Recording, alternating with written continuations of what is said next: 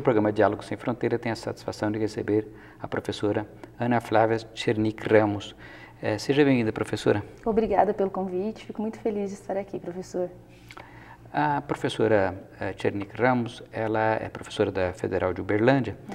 mas a, toda a trajetória dela foi feita na Unicamp. Primeiro no Departamento de História, Iniciação Científica, mestrado, doutoramento em História, é, no âmbito do Secult, o Centro de Estudos da Cultura, e também depois seguiu no pós-doutoramento no Instituto de Estudos da Linguagem, com o Paulo Franchetti, é, relacionado também ao tema que vamos conversar hoje, que é Machado de Assis. É, então, o tema específico que nós vamos tratar hoje, que a professora é uma das é, estudiosas de, desse tema, é, o tema da relação de Machado de Assis com as leis abolicionistas. E no âmbito mais, em termos mais amplos, a questão, digamos, da interpretação da história social a partir de é, Machado de Assis. Então, a primeira pergunta que eu faria, professora, é, é o desafio de tratar com um, um autor é, canônico, digamos assim, que é o Machado de Assis, do ponto de vista literário, que é muito conhecido como autor, como literato, do ponto de vista da história social? Uh, eu acho que os trabalhos que têm sido desenvolvidos agora em termos de uh, entender, de compreender o Machado de Assis como um literato, mas também como um homem de seu tempo, né, que está produzindo a sua literatura, uh, os seus escritos na, em meio a uma série de demandas sociais, de circunstâncias políticos, sociais, uh, nas quais ele se envolvia, é bastante inovador e tem sido muito interessante. Né? Uh, o Machado de Assis, nos últimos anos, tem sido uh, interpretado dentro desses diálogos, dessas relações com as quais eh, ele estabeleceu os seus vínculos, os vínculos afetivos, os vínculos políticos, né, os vínculos literários, e inserir a sua obra nessa teia de relações tem sido muito interessante é, para o trabalho do historiador, né, que não abre mão de avaliar a obra pela sua perspectiva literária, estética, de entender as demandas estéticas do literato, né, é, que é o objetivo uh, maior, talvez, do Machado de Assis, mas não entender a literatura como algo que está fora do mundo no qual ela é produzida. Né? A literatura é produto do seu tempo também, né? ela é feita a partir dessas conexões. Então, na verdade, o que a gente está fazendo é somar uh, novas perspectivas. Né? A gente não está eliminando o Machado de Assis literato para só abordar pelo viés historiográfico, mas está tentando. Uh, tornar o Machado um homem é, do seu tempo, né, a partir dessa, dessa perspectiva. Então, uh, cada vez mais a gente tem olhado não só para as obras canônicas, já que ele é um historiador, já que ele é um escritor canônico, a gente tem tentado olhar também para parte da, da, da, produção dele, que ficou um pouco mais obliterada durante muito tempo, que são as crônicas. Machado de Assis é um grande cronista, né, escreveu mais de 600 crônicas e até então, como esses eram textos escritos ao correr da pena, né, escrito no calor do momento, muitas vezes a crítica literária tinha deixado de lado estudos mais cuidadosos por achar que eles, esses textos tinham menos requinte estético ou literário, né, que eles estavam muito presos ao momento e não tinham a, a pretensão de ser perenes, né, de ser é, textos da posteridade. Há, há é, justamente essas crônicas é, têm um caráter efêmero, no sentido até etimológico da palavra, quer dizer, elas eram do dia, né, uhum. e aí exige que é, a pessoa para mesmo em termos literários, para que você possa fruir isso, uhum. é, você, mesmo um leitor qualquer tem que tem dificuldade, porque ele não não tem o contexto, uhum. né? justamente porque o efêmero é aquilo que ocorreu um dia anterior, dois dias antes. A crônica, quando ela é produzida no jornal, ela parte do pressuposto de um leitor que compartilha com ela uma série de significados, de acontecimentos né, contemporâneos a ele, para que ele contemporâneo no sentido literal, né? Que imediatos, né? Que acabaram de ocorrer, é. ocorrer é. no dia anterior, muitas é. vezes, né? Então, ler essas crônicas sempre foi um desafio por isso, né? Por esse caráter mais contemporâneo, que necessita do leitor essa, esse partilhamento de sentidos. Né? Mas, por outro lado, as crônicas também são muito ricas e interessantes, porque, por um lado, elas não abrem mão de uma série de, de questões estéticas que o Machado carregava, literárias. Né?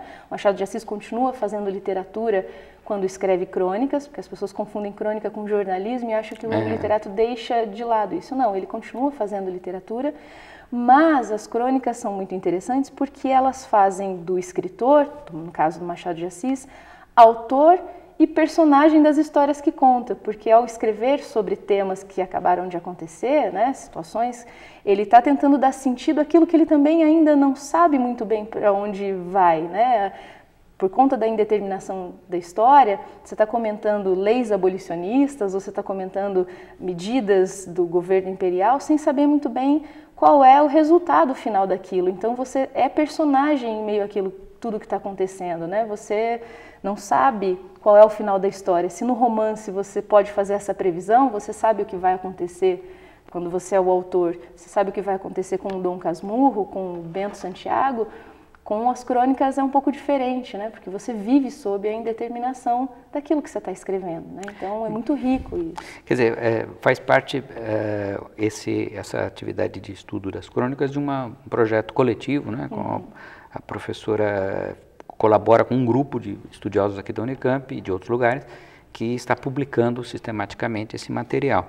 Mas aí entrando diretamente, mais profundamente, no, especificamente com relação ao abolicionismo, é, o que é que a professora tem visto nessa literatura, é, tanto a, digamos, a, a do Diária quanto na outra, a relação do Machado de Assis com esse movimento abolicionista e com, digamos assim, a escravidão em geral e como que poderíamos ver isso? É, quando eu comecei, a, a, o que eu estudo propriamente do Machado de Assis é uma série de crônicas que ele publicou entre os anos de 1883 e 1886, chamada Balas de Estalo, que foi publicada num dos maiores jornais é, em circulação do Rio de Janeiro na década de 80. Né? É, e o Machado de Assis, junto com outros intelectuais, entre eles o próprio dono do jornal, da Gazeta de Notícias, e o Capistrano de Abreu, né? eram mais de 10 narradores na série, comentavam cotidianamente os temas da política imperial, os temas que marcaram os anos 80. Né? E quando eu me deparei com essa série, é, eu vi o potencial que ela tinha para colocar em discussão algo muito importante sobre o Machado de Assis, que é a relação dele com as leis é, emancipacionistas ou com o encaminhamento da abolição no Brasil.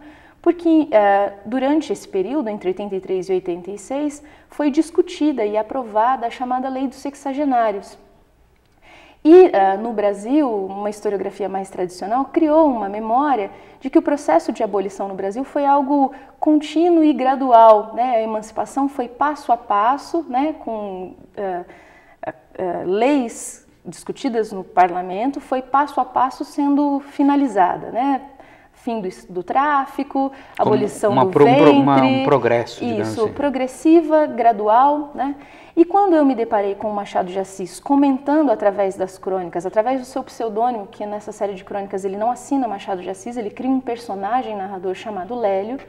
Através do Lélio, o Machado de Assis vai vivenciar a experiência da discussão dessa lei no parlamento, da lei que se tornará a Lei dos Sexagenários, aprovada em setembro de 85.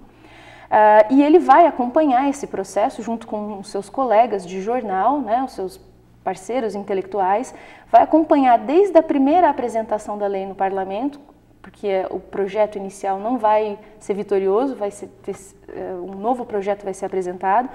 E ao acompanhar esse processo, a gente pode observar um Machado de Assis muito atento à forma como esse encaminhamento da abolição estava sendo conduzido. Né?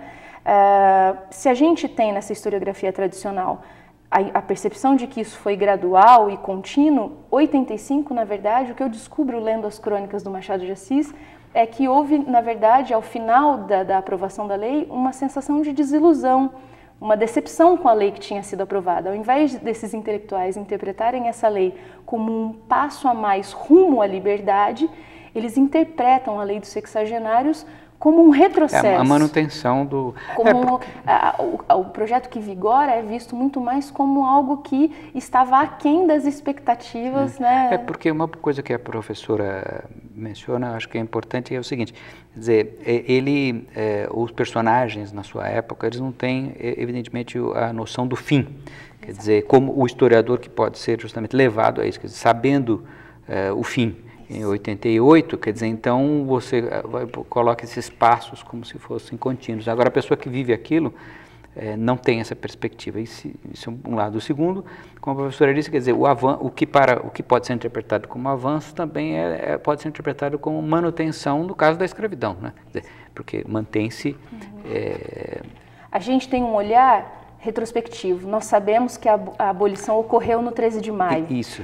Eles, em 84 e 85, não tinham essa dimensão. É. Então, para eles, a batalha em torno de uma nova lei emancipacionista em 85 uh, ah, poderia significar o final total, poderia significar um avanço significativo, poderia, como significou para muitos deles, um retrocesso. O primeiro projeto de lei eh, dos sexagenários previa uma não indenização dos senhores, e esse projeto não vingou. E, ele, e isso frustrou muito intelectuais como Machado de Assis. Ao acompanhar as crônicas, nós vemos, uh, durante muito tempo, a crítica literária disse, se tornou um senso comum sobre o Machado, que ele não se importou muito ou não destacou na sua obra questões relacionadas à escravidão e à abolição. E hoje tem, isso tem sido muito revisto por esses é. estudos justamente de história social que tentam entender esse personagem até porque foram Assis, também né? para uma, uma, uma, um outro tipo de fonte. Sim. Né? Porque, como a professora disse, os que estão essa visão, digamos, eh, desse distanciamento desse problema social vem das obras canônicas, nas quais, evidentemente, que são obras literárias e que não, não, ele não está lidando com, eh, digamos assim, como você disse, com a, a, a gente poderia chamar até de embate, né? É, hoje em dia até isso também tem sido questionado, porque se você pega trabalhos como Machado de Assis, historiador, que trabalha com os romances canônicos, como Memórias Póstumas de Brás Cubas, comenta um pouco romances até do começo da carreira do Machado, como Helena, ou Quincas Borba, como do professor Sidney Chalub, ele já mostra o quanto o Machado, através da literatura, contou e recontou a história do Brasil, né? E dando destaque sem o qual não é uhum. é possível pensar o Brasil do século XIX para a escravidão. Né? Então,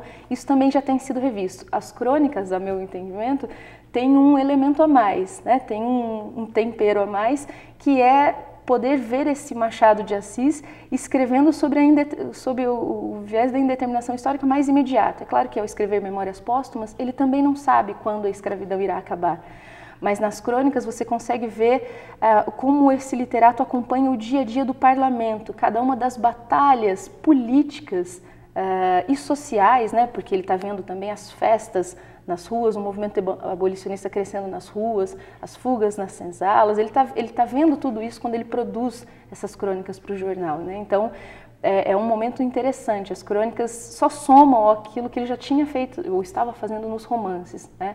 A crônica é quando você consegue acompanhar ele dia a dia, a cada nova batalha, ou no parlamento, ou nas ruas, ou nas fazendas, né? ou as repercussões dos embates em torno e da também, escravidão. Né? É, em relação aos, aos outros cronistas, né? dizer, porque na verdade ele é um cronista entre outros, então também tem uma espécie de diálogo dele com os outros. Né? Ótimo, né? também uma, uma, um momento muito importante de você ver o Machado de Assis dialogando com os seus companheiros de série, não só de jornal, mas da própria série Balas de Estalo. Né? Então, Machado de Assis pensando aquilo que outros também estão pensando e como é que ele se posiciona nessa rede de, de interlocução, de diálogo sobre o tema. Né? Então, Balas de Sal também se mostrou muito interessante porque é poder é, colocar o Machado de Assis num grupo que está propondo debater temas em comum. Né? Então, é, e 85 para ele, o projeto que previa a não indenização é derrotado e o projeto que vinga, o que vira a lei, prevê uma indenização em forma de prestação de serviços pelos escravos com mais de 60 anos, né? e isso é, é, bastante a forma como o parlamento conduz a aprovação dessa lei, a forma como os partidos liberal e conservador se unem para a aprovação da lei com esse formato, prevendo a indenização, é, é perceptível através do personagem que ele cria para a série a sua desilusão, né? a, sua, a sua frustração com a forma como a política imperial conduzia o tema da escravidão, né? a ponto de, inclusive, uh, ter impactos literários no personagem que ele cria, né? como uh, eventos da política e da sociedade interferem definitivamente na condução do escritor Machado de Assis na criação de um, de um personagem, de uma voz ficcional uh, dentro da série. Né? Então, Olha, professora Ana Flávia, eu queria agradecer muito a sua participação. Quero dizer que, como é, é um personagem, né, o personagem histórico Machado de Assis, que todos conhecem, justamente por ser um autor canônico. e, no entanto, a professora nos apresenta outras facetas que nem sempre são de conhecimento do público mais amplo. Então, queria agradecer muito a sua participação no programa. Obrigada mais uma vez pelo convite, professor. Foi muito bom estar aqui. Eu lembro que todos este, este programa e todos os outros estão disponíveis no site da RTV Unicamp, estão também disponíveis no canal YouTube da RTV Unicamp. E com isso eu convido a todos ao próximo programa Diálogo Sem Fronteira.